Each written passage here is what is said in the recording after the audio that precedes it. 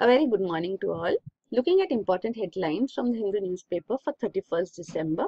On the front page you have Railways want people to pay for property damages. So uh, Railways has said it has suffered 80 crore losses during anti-citizenship amendment act protests and it says it wants uh, people to pay for property damages. So it plans to recover the amount from those involved in these incidents and this is Ajit Pawar returns as deputy CM. So this is uh, political development in Maharashtra. Here you have city records coldest temperature in 118 years. So this is regarding Delhi. Maximum temperature here recorded at 9.4 degrees Celsius and 11.4 degrees Celsius is below season's average. So temperatures have dipped to as low as 2.6 degrees Celsius. So this is 4 degrees below normal. And here you have no smartphones, Facebook at naval establishments. So recent espionage case which came to light where uh, you know, honey trap was used. It means uh, uh, navy officers or navy uh, personnel were trapped into you know giving details about uh, you know, the, actually the navy the secrets about the navy were leaked through these were sensitive information leaked through social media platforms through women you know uh, texting and messaging the personnel. So now navy has decided there will be no smartphone facebook at naval establishments. Then below you have general rawat is first chief of defense staff so this is regarding outgoing Army Chief General Bipin Rawat. He was set to retire on 31st December and Chief of Defence Staff is a new post which has been created by the government for integrated chief of all three armed forces, Army, Navy and Air Force. So Army Chief who is retiring today will has been announced as the first Chief of Defence Staff. And this is Kerala leads race for UN development goals and Bihar is the back, at the bottom of uh, list of states based on ranking of states based on UN development goals. So this has been prepared by Niti Aayog. So the sustainable development goals SDGs of United Nations are for countries to achieve but within India too Niti Aayog has established this SDG index sustainable development goals for states. So here you can see Himachal Pradesh and Sikkim have joined the four southern states among the front runners which scored over 65 points out of possible 100. So, ending hunger, achieving gender equality are some of the areas and these are the areas where most states fall short. So, All India score for this is also 35 and 42 respectively out of 100. So, but then clean energy, sanitation has seen progress, peace, justice and strong institutions, affordable and clean energy. These are some of the other indicators which are used in the SDG ranking. So UN has developed 232 indicators to measure compliance by member nations and Niti Aayog has adapted the monitoring approach to the Indian context with 100 indicators of its own for the index. On page 7 you have no one forced youth to attend sunburn. This is Minister on Tourist list. So this is actually regarding Goa in Goa, a three-day sunburn festival is held that is called Electronic Dance Music Festival. So this festival as such has seen recently three tourists dying after collapsing. The post-mortem report has also been reserved for further administration and Congress has earlier too said that drugs are openly sold at these events. But Goa government as such is defending this and saying that no one forces youth to attend sunburn.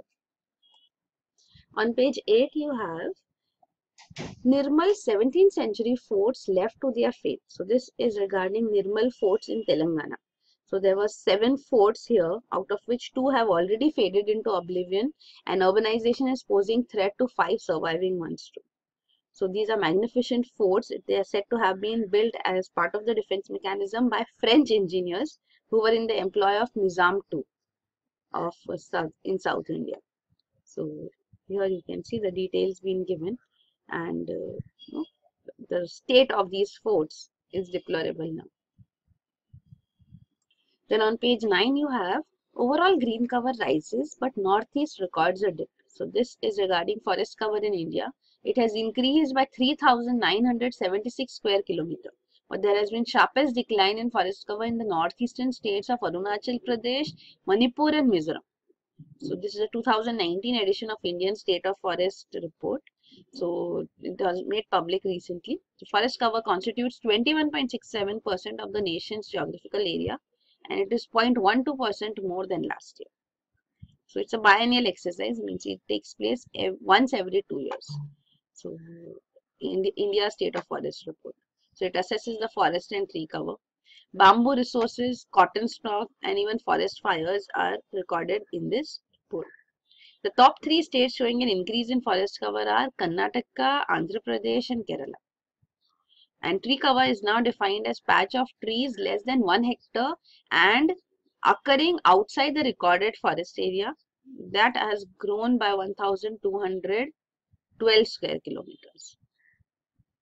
So here you can see the forest cover which has been added is of So forest cover by increased by 3,976 square kilometer and tree cover by 1,212 square kilometer. So overall, you can see tree and forest cover together make up 25.56% of India's area. In the last assessment, it was 24.39%. So you should understand when northeastern states have are losing their forest cover, these are the states which have a huge percentage of area under forest cover. You can see uh, Mizoram has 85.4% of its area under forest. Arunachal Pradesh 79.63 and Nagaland 75% of its area is under forest and now this forest area is declining. And this is Ujjwala scheme reduced reliance on forest wood. So Union Environment Minister has credited Ujjwala scheme which provides free cooking gas to extremely poor families with possibly reducing the demand for fuel. And below you have IIT Guwahati offers new technology to tap energy from green from water. So this is a team of researchers from IIT Guwahati who have used electrokinetic streaming technology.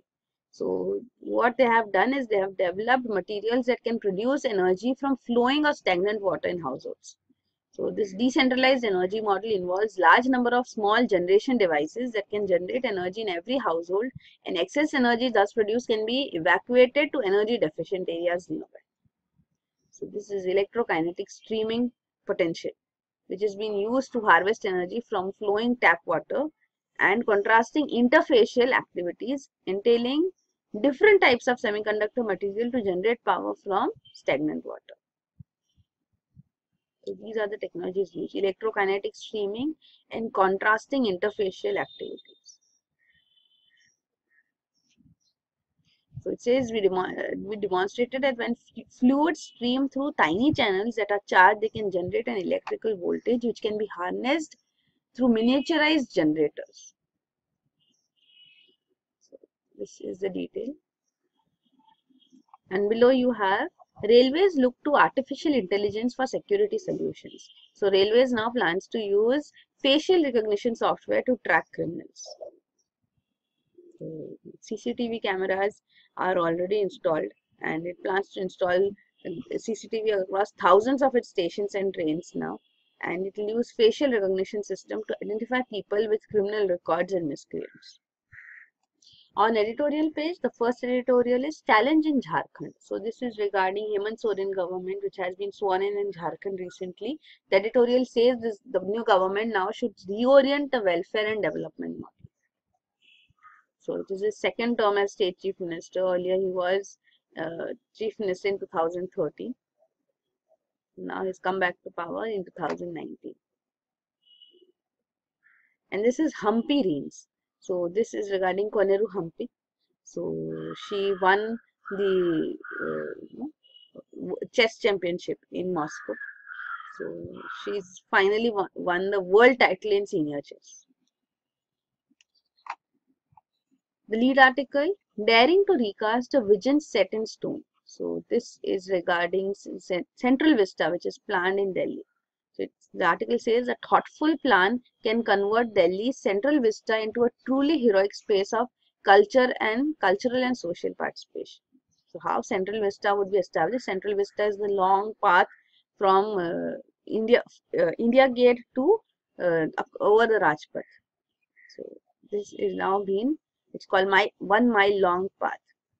So, so this is planned to be reconstructed now. It was it was uh, uh, established in 1913 by British architects.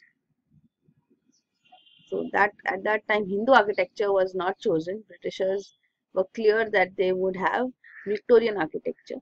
So now this article talks of how cultural and social participation can make this into a truly heroic space. And this is uncovering the CAA's larger strategy. So more than helping out persecuted minorities, its effect will be to isolate one group exclusively as the perpetrator. So that is the objective of the protests which are going on against Citizenship Amendment Act. Then on op-ed page you have for a personal healing touch. So this is regarding Niti Aayog's healthcare plan. So the article says that it should not end up emulating America's supermarket system. So there's a personal healing touch which is required. So the Niti Aayog plan to have uh, e-medicine available is uh, you know what is the concern here you can see Niti Aayog's proposed 15 year plan for Indian healthcare entitled Health Systems for a New India Building Blocks Potential Pathways to Reform. So it outlines prospects of uh, you know, turning Indian healthcare system into you know uh, these e-systems as such. So small practices can develop into large business-led organizations. So such uh, such propositions actually are problematic is what the article says. It says nearly 98% of healthcare providers have less than 10 employees. And uh, this being identified as a negative trait is uh, not good because this is a positive trait that people are receiving medicine rather than centralizing the entire thing into a business venture. It is good to have small healthcare providers who are functioning at local level. If there is consolidation then costs will increase competition will reduce so that's not good so that's what this article is about that Niti Aayog's proposition is problematic there are advantages of small clinics and this is guarantee internet rights so this talks about how access to internet should be recognized as a fundamental right to free speech and a basic freedom and a right to life so it should be part of right to life so how we are seeing during recent protests, uh, internet is being shut by the government. And this is holding a mirror to our face. So this is regarding Human Development Index ranking of India. So it says this shows that India's demographic dividend is morphing into a nightmare. So it's not paying off. We have seen India is ranked 129th now, one rank up from earlier, but still it is dismal. So this article talks of that. Then on page 12 you have, in a first, Jammu and Kashmir throws open jobs to outsiders. So the administration of Union Territory of Jammu and Kashmir has for the first time ad advertised local jobs to outsiders. Five months after Jammu and Kashmir's special status has been revoked.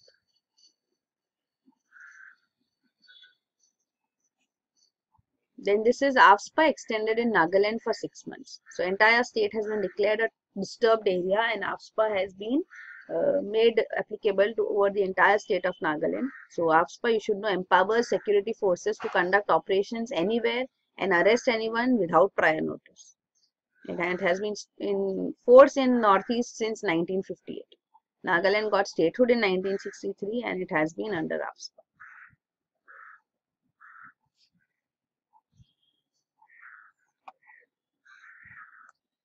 On page 13 you have Third-party audit of NRC exercise sought. So an Assam-based organization has sought third-party audit by a reputed international agency into the software applications used in the exercise to update NRC in Assam. So a higher level probe is required on the charges of corruption against former NRC coordinator Pratik Haleja. Pratik Hajela. So there were 119 lakh people out of 3.3 crore applicants that were excluded from the complete final NRC, which was published on 31st August 2019. Now an audit is uh, demanded on this. And below you have opposing voices can't be muzzled by force. So there are several Supreme Court judgments that have recognized dissent as a symbol of vibrant democracy. So these are regarding various judgments here, you can see. So in Acta Khushbu case, Supreme Court has said that free flow of opinions and ideas is essential to sustain the collective life of citizenry. And informed citizenry is a precondition for meaningful governance. And also another case in which Justice K. Subbarao said that movement under the scrutinizing gaze of policemen is not free movement. The whole country is his jail. On international page here you have regarding the newsmakers as such over the year, international newsmakers.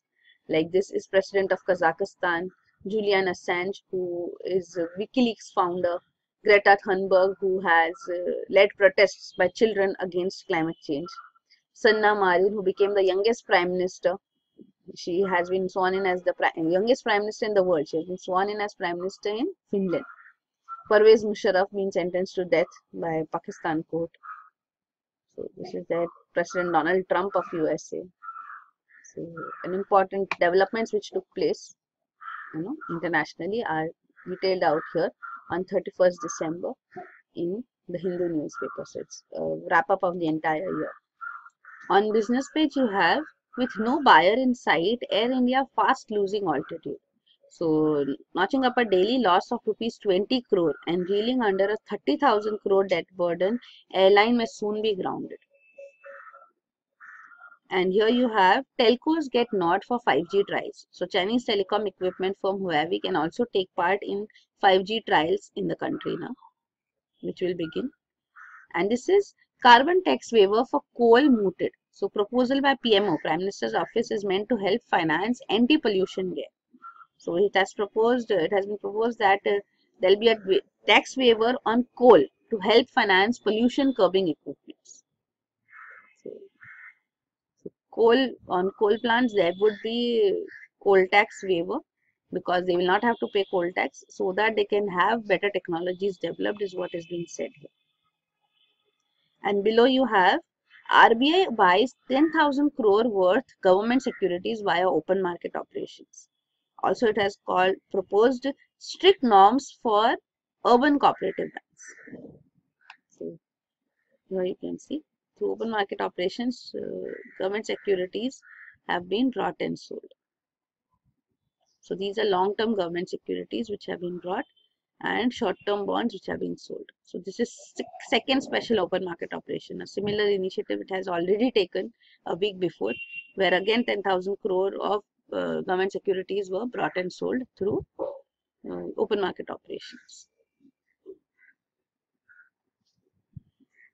So this is to boost the economy as such. So bring in more liquidity in the economy and also uh, it has uh, brought in stricter norms for urban cooperative banks. So here you can see. This is reduction in the loan amount an urban cooperative bank can lend out to a single entity is one proposal and a group of borrowers. So single entity and group of borrowers both have been reduced to 10% and 25% respectively.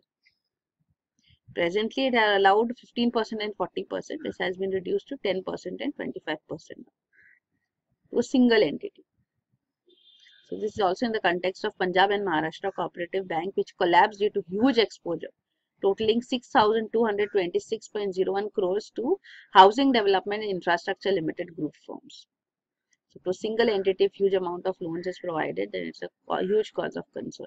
If that default happens, the entire bank is under stress and the people who have accounts in them. So these are the important headlines. For detailed coverage of current affairs, you can visit our website aashah.com. Thank you.